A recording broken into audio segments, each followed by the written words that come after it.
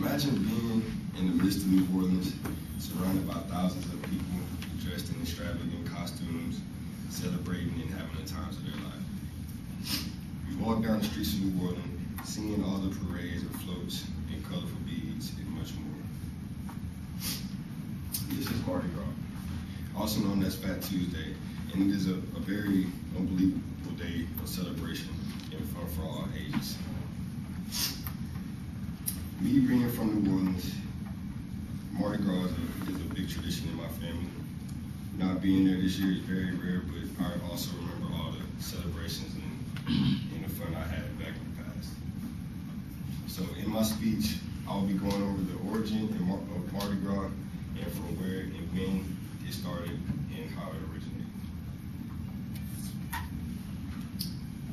When and where it began, in the first American Mardi Gras took place on March 3rd, 1699. It began with a small celebration. This happened when the French explorers Iberville and Bienville landed what is called now uh, New Orleans, Louisiana. And here, this is Iberville and his brother Bienville right here. They held a small celebration that dubbed up the spot Pointe du and named it Mardi Gras. They began to mark this holiday with special parties, street balls, and lavish dinners. But when the, when the Spanish took over New Orleans, they abolished the celebration until Louisiana actually became its own state in 1812. On Mardi Gras in 1827, a group of students around a group of students paraded around the streets of New Orleans colorful costumes, emulating what they had observed while being in Paris.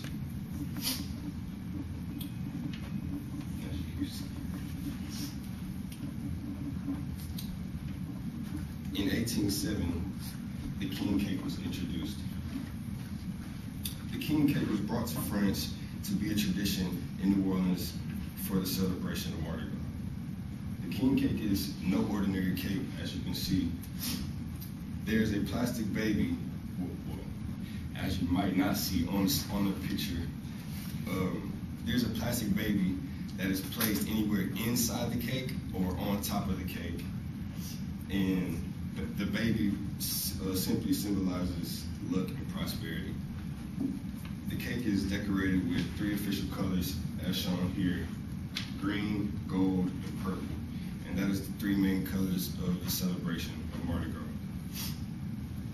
I gave you a, little insight about the, the, um, the origin of Mardi Gras, how it originated. So I would like to give you a little testimony of my own memories of uh, being back home.